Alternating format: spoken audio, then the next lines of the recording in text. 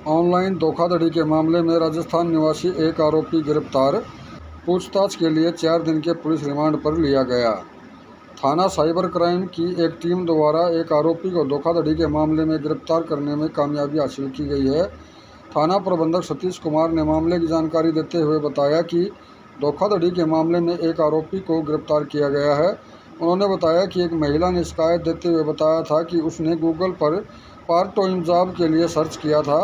उसके बाद गूगल की अमेजन प्रो नाम की साइट ओपन हो गई, जिस पर क्लिक करते ही व्हाट्सएप पर हेलो का मैसेज आया। उन्होंने उसे घर के काम, घर पे काम करके हर रोज़ आठ हज़ार रुपये तक कमाने का लालच दिया। प्रलोभन में आकर उसके, उसने दिए गए अकाउंट में सत्रह ट्रांजैक्शन करके चार लाख चौरानवे हज़ार आठ सौ रुपये भेज दिए। उन्होंने उसके साथ धोखाधड़ी की।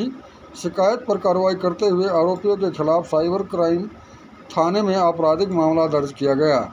उन्होंने बताया कि थाने में तैनात सहायक उप निरीक्षक मुकेश कुमार के नेतृत्व में पुलिस की एक टीम ने कार्रवाई करते हुए ऑनलाइन धोखाधड़ी के मामले में एक आरोपी को गिरफ़्तार किया। आरोपी की पहचान मनीष निवासी उदयपुर, राजस्थान के तौर पर की गई। आरोपी ने पूछताछ में षडयंत्र के तहत जासा देकर ऑनलाइन ठगी के मामले के संबंध में खुलासा किया। आरोपी के खिलाफ कार्रवाई करते हुए उसे अदालत जज्जर में पेश किया गया। आरोपी को पूछताछ के लिए चार दिन के पुलिस रिमांड पर लिया गया है।